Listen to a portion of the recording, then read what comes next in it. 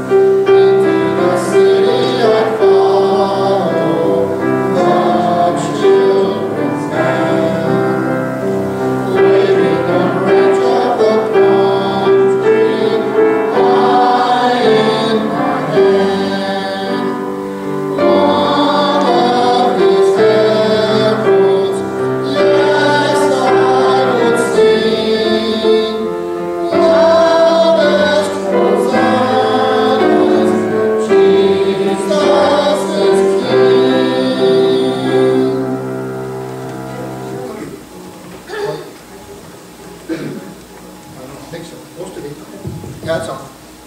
Thanks, Mike. always a critic. Always a critic.